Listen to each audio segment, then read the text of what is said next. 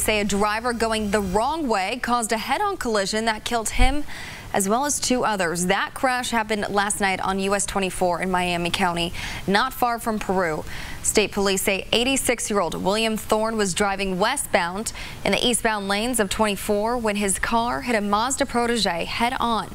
18-year-old Ethan Richman of Kokomo and 19-year-old Lea Byers of Greentown were in that Protege.